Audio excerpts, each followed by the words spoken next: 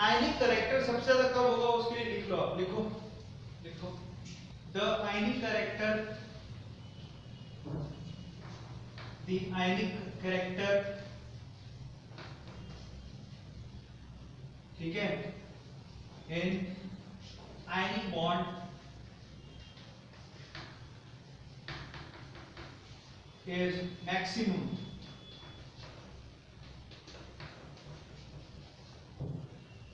ठीक है? When the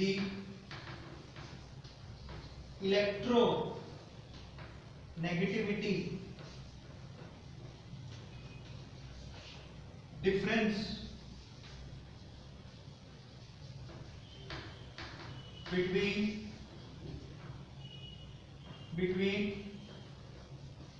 metal and non metal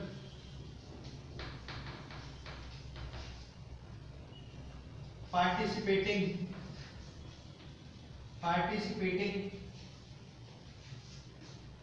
in ionic bond formation ionic bond formation is क्या होनी चाहिए मैक्सिमम ठीक है तो इससे आप पहचान सकते हो मतलब क्या है? इसको कहने का मतलब ये है कि कौन से कंपाउंड में आयनिक जो एक ऐसा कंपाउंड जो आयनिक बॉन्ड बना रहा हो, उसके अंदर आयनिक कैरेक्टर मैक्सिमम कब होगा? जब मेटल और नॉन मेटल जो कि उस बॉन्ड में पार्टिसिपेट कर कर रहे हैं आयनिक बॉन्ड बनाने में, उनकी इलेक्ट्रोनेगेटिविटी का डिफरेंस क्या होना चाहिए? मैक्सिमम समझ में आ गया? तो आयनिक कैरेक्टर मैक्सिमम होगा। क्लियर हो गया?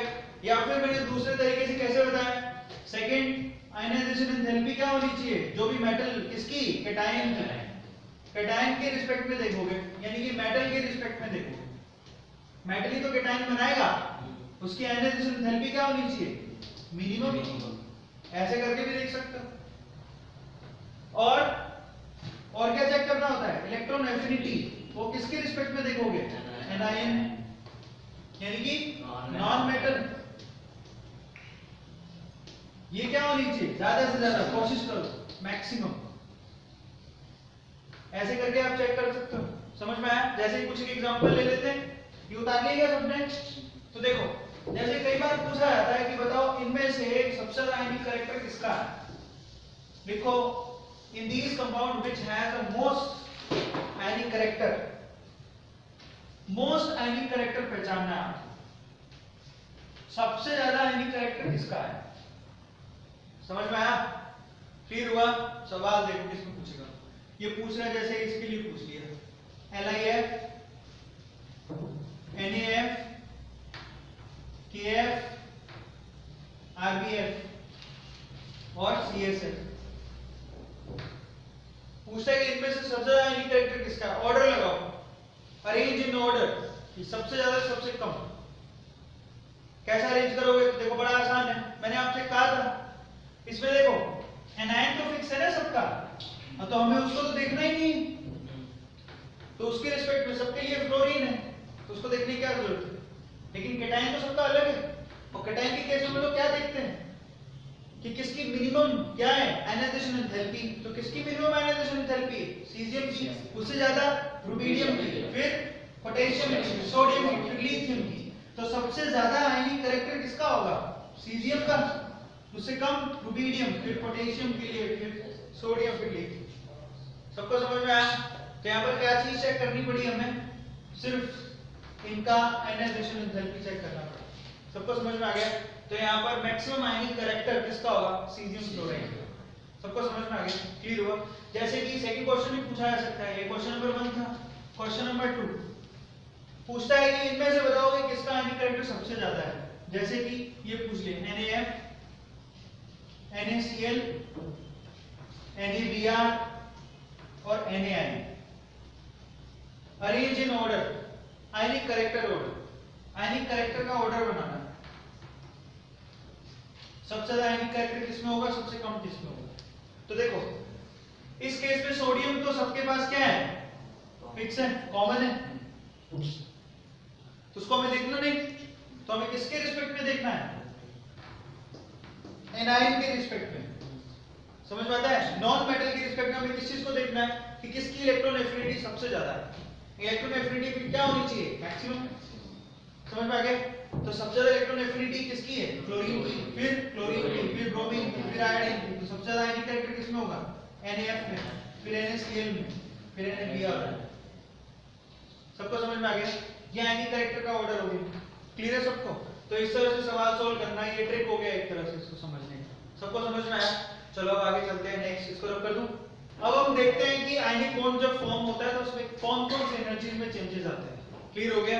तो मैंने तुम्हें बताया था first of all ionic bond अगर फॉर्म करना है तो सबसे पहले हमें क्या चाहिए? केटायन दूसरी चीज़ क्या चाहिए? एनायन तो केटायन का फॉर्मेशन और एनायन का फॉर्मेशन बनना पड़ता है। उसके बाद थर्ड क्या होता है?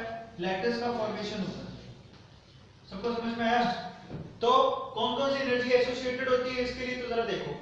फ़र्स्ट ऑफ़ ऑल हमने एक मेटल ले लिया। समझ में आ गया? और मेटल गैसियस फ़ेज़ में लिया। वो क्या करेगा सबसे पहले? केटायन की फॉर्मेशन तो M प्लस में और एक इलेक्ट्रॉन बाहर निकाल देगा। सबको समझ में आ गया? तो यहाँ पर कौन सी एनर्जी एसोसिएटेड है? आयनाइजेशन एंथैल्पी है, जो कि हमें देनी पड़ेगी तो कैसी होगी? प्लस यहाँ पर केटायन बन गया। ये केटायन की क्या हो गई? फॉर्मेशन क्लियर है? दूसरी चीज़ हमें क्या करनी है? एनायन की फॉर्मेशन तो कोई x एनायन ले लिया, वो क्या करेगा? उस एक इलेक्ट्रॉन को लेगा और किसमें कन्वर्ट हो जाएगा? X माइनस में। तो हमारे पास ये क्या हो गया? एनायन की फॉर्मेशन हो गई। इस केस में माइनस में इलेक्ट्रॉन एफिनिटी ये बाहर निकलती है। क्लियर हो गया? फाइनली क्या होगा? ये M प्लस ये गैसियस ये क्या है? गैसियस एटम से किसमें कन्वर्ट हो गया? Gaseous ion finally gaseous ion कौन सा? कैटायन और गैसियस एनायन ये दोनों मिलके क्या बना लेते हैं? Mx सॉलिड लैटिस बना लेते हैं। और उस टाइम पे जो एनर्जी रिलीज़ होती है, उसको क्या बोलते हैं? लैटिस एनर्जी सबको समझ में आया?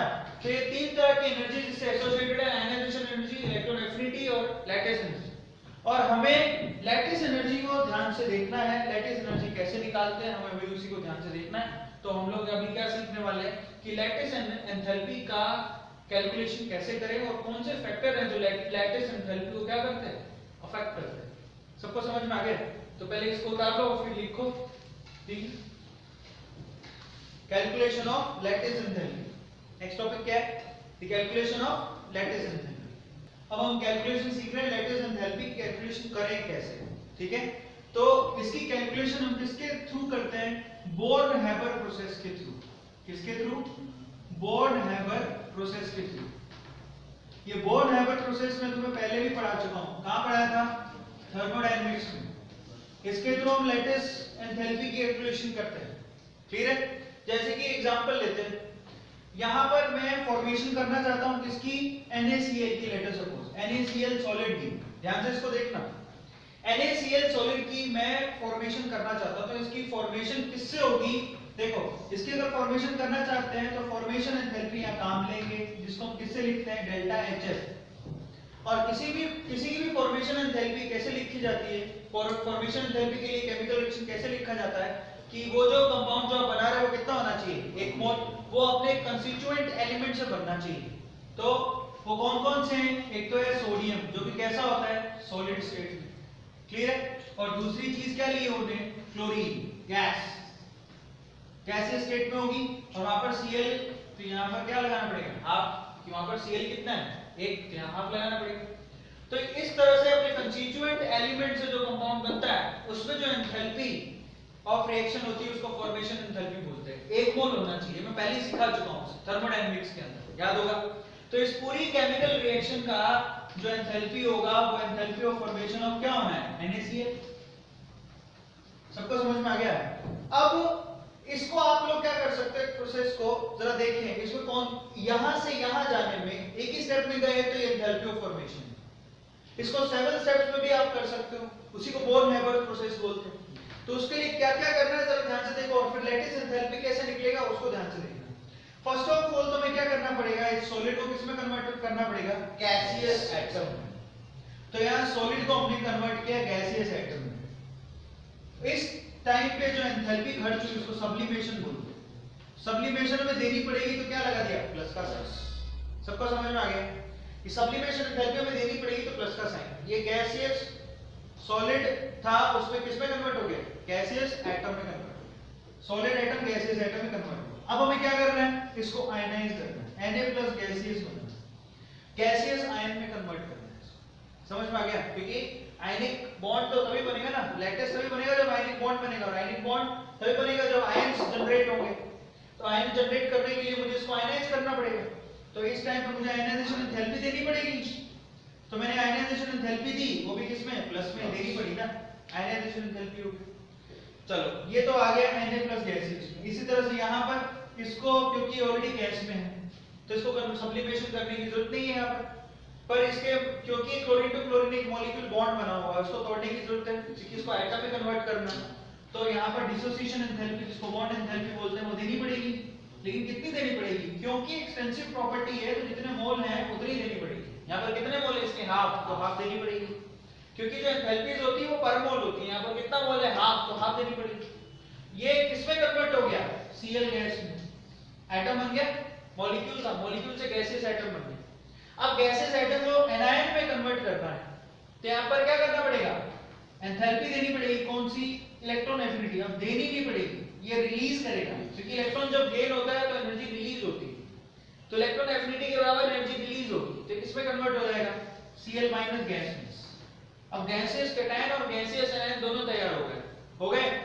इन दोनों से हमें क्या मिल जाएगा? ये। और ये चीज़ तुम पहले ही पढ़ चुके हो। गैसियस कैटायन और गैसियस आयन से जब हमारे पास एक NaCl सॉलिड बन जाता है। समझ में आ गया? तो उस टाइम पे एक एंथैल्पी रिलीज़ होती है, जिसको हम क्या बोलते हैं? लैटिस एंथैल्पी जिसको हम माइनस से दिखाते हैं। क्लियर है? अब हमें इसी की कैलकुलेशन करनी है। इसी की कैलकुलेशन करनी तो बॉन्ड हाइपर प्रोसेस से होता है। मतलब ये चीज़ तुम्हें गिवन होती है ये चीज़ भी पता होता है, ये भी पता होता है, ये भी पता होता है, और फॉर्मेशन एंथैल्पी भी पता होती है। हमें निकालनी है लेटेस्ट एंथैल्पी क्लियर है? तो यहाँ पर हेल्स रूल लगाओ अगर हेल्स लॉ क्या कहता है? ऐसे जाओ या फिर स्टेप सेवरल स्टेप्स में जाओ एंथैल्पी तो सेम ही रहता है। तो इसका मतलब जिसकी एंथैल्पी ऑफ़ फॉर्मेशन है ऑफ़ NaCl, वो इन सभी एंथैल्पीज के समीशन के बराबर होगा। तो इसका मतलब कौन कौन सी एंथैल्पी लगी? एंथैल्पी ऑफ़ सब्लिमेशन और प्लस में क्या लगा? एंथैल्पी ऑफ़ आयनाइजेशन ठीक है? क्लियर हुआ? Enthalpy of sublimation enthalpy of ionisation यहाँ पर दो लगा। फिर यहाँ पर क्या लगा? Plus half enthalpy of dissociation या फिर बॉन्ड क्लियर है? ये हाफ़ लगा होगा। फिर माइनस में। माइनस में क्या लगा? मैं यहाँ लिख देता हूँ। माइनस ऑफ़ एंथैल्पी कौन सी लगी? इलेक्ट्रॉन एफिनिटी क्लियर है गेन एंथैल्पी केस होता है। और साथ में क्या आ गया यहाँ पर? Lattice enthalpy minus of lattice enthalpy इसमें आपको लैटिस एंथैल्पी निकालनी है और बाकी गिवन होती है। यहाँ से लैटिस एंथैल्पी निकाल लो डेल्टा एच ऑफ़ लैटिस सबको समझ में आया? उसको यहाँ ले आओ, इसको मान ले जाओ। सबको समझ में आ गया? इस तरह से लैटिस एंथैल्पी की कैलकुलेशन करते हैं। ये चीज़ मैं बॉन्ड पर प्रोसेस में थर्मोडायनामिक्स में पहले भी सिखा चुका हूँ। ऐसे ही कैलकुलेशन किया जाता है एंथैल्पी का लैटिस एंथैल्पी क्लियर हो गया सबको। इसको उतार लो। जैसे कि एक और कंपाउंड के लिए बॉन्ड हैवर प्रोसेस लिखते हैं। जैसे मैं आपको कह दूँ कि MgO बनाना है, मान लो। MgO सॉलिड ये बनाना चाहता हूँ। ठीक है? कैसे बनाऊँगा? इसकी एंथैल्पी ऑफ़ फॉर्मेशन को मैं क्या लिखूँगा? डेल्टा HF ऑफ़ MgO सही है? अच्छा ये किससे बनाऊँगा? कितना होना चाहिए? एक मोल किससे बनाऊँगा? इसके कंस्टिट्यूएंट एलिमेंट्स मैग्नीशियम कैसे होता है? सॉलिड ऑक्सीजन कैसे होता है? गैस और यहाँ बैलेंस करने के लिए क्या लगाना पड़ेगा? आप सबको समझ में आ गया? अब देखो इसको सिंगल स्टेप में करो तो इसकी फॉर्मेशन इस रिएक्शन का एंथैल्पी क्या होगा? फॉर्मेशन ऑफ़ MgO अब इसको अगर मुझे लेटेस्ट एंथैल्पी निकालना है तो इसका बॉन्ड हैवर प्रोसेस मुझे लिखना पड़ेगा। तो जरा ध्यान से देखो। सबसे पहले इस MgS को किसमें कन्वर्ट करूँगा? सॉलिड को गैसियस एटम में। Mg गैस में कन्वर्ट करूँगा। करूँगा? इसके लिए मुझे इसको क्या करना पड़ेगा? सब्लिमेशन एंथैल्पी देनी पड़ेगी। सब्लिमेशन हुआ ना सॉलिड से गैस में चला गया। अब इसी तरह से इस ऑक्सीजन के मॉलिक्यूल को क्या करना पड़ेगा? गैसेस एटम में कन्वर्ट करना पड़ेगा। तो उसके लिए क्या करना पड़ेगा? बॉन्ड एंथैल्पी देनी पड़ेगी। या डिसोसिएशन एंथैल्पी देनी पड़ेगी? तो ओ गैस कन्वर्ट हो गया ऑफ़ गैस में। समझ में आ गया? ये कितनी देनी पड़ेगी? हाफ़ क्योंकि वहाँ हाफ़ है। क्लियर है? अब एक इंटरेस्टिंग फैक्ट जरा समझ में आता है। अब इसको मुझे कैटायन में बदलना है। यहाँ पर चार्ज कितना होगा? Mg plus two and O minus two क्योंकि इलेक्ट्रोवैलेंसी कितनी है इसकी? दो। समझ में आ गया? इसकी इलेक्ट्रोवैलेंसी भी दो। तो दो इलेक्ट्रॉन इसको छोड़ने फिर इसको दो इलेक्ट्रॉन गेन करने इसको दो इलेक्ट्रॉन छोड़ने हैं। पहली बार में इसने पहला छोड़ा। Mg प्लस में कन्वर्ट हो गया। तो उस टाइम पे इसने जो आयनाइजेशन एंथैल्पी थी, वो आयनाइजेशन एंथैल्पी क्या हो गई? EI1 IE1 आयनाइजेशन एंथैल्पी 1 जो भी देनी पड़ेगी प्लस में होगी। क्लियर है? फिर से इसको क्या करना है? एक और इलेक्ट्रॉन छोड़ना है। फिर जाएगा ये Mg प्लस में। समझ में आ गया? इस टाइम पे फिर से इसको क्या करना पड़ेगा? और आयनाइजेशन एंथैल्पी देनी पड़ेगी। IE2 बोलेंगे। क्लियर हो गया? सीधे लिख रहा हूँ IE2 और हम जानते हैं कि IE2 is greater than IE1 ये तुम पढ़ के आ चुके हो। कहाँ पर? थर्ड चैप्टर के अंदर। सेकेंड टाइम पे जो एंथैल्पी देनी होती है, वो ज़्यादा होती है। क्यों? क्योंकि एक इलेक्ट्रॉन छोड़ दिया न्यूक्लियस का पावर और बढ़ गया साइज़ और कम हो गया। अब अगर एक इलेक्ट्रॉन और बाहर निकालना है तो ज़्यादा एंथैल्पी देनी पड़ेगी। सबको समझ में आ गया? तो ये IE2 is greater than IE1 clear है? Mg 2 में कन्वर्ट हो गया। दो बार देनी पड़ी ना? अगर ये सेम होती तो फिर मुझे लिखने की ज़रूरत थी? नहीं। बात समझ में आ रहा है? लिखने की ज़रूरत नहीं थी? लिखना पड़ा, क्योंकि मैं जानता हूँ कि यहाँ पर डिफरेंस आएगा दोनों में। क्लियर हो गया? इसलिए मुझे लिखना पड़ा। अब इधर आ जाओ यहाँ पे बड़ा इंपॉर्टेंट कांसेप्ट है। यहाँ पर भी दो इलेक्ट्रॉन्स को गेन करवाने पहले एक करवाया। ये तो लेना चाहता है? तो पहले एक करवाया तो क्या होगा? Minus of delta H electron affinity minus में होगी। ये लो इसने एक इलेक्ट्रॉन ले लिया माइनस वन में आ गया माइनस वन गैस। सबको समझ में आया? अब क्या होगा बताओ अब क्या करेंगे? एक बार और इसको इलेक्ट्रॉन देना है ताकि किसमें आ जाए? वो माइनस टू गैस में। अब बताओ, ये बाहर निकलेगा क्या देना पड़ेगा? ये सबसे इंपॉर्टेंट कॉन्सेप्ट है थर्ड चैप्टर में पढ़ाया था जो शायद तुम्हारे ढंग से तुम उसको जाके वापस देखना। तुम्हें बताया गया होगा। क्या बताया गया होगा?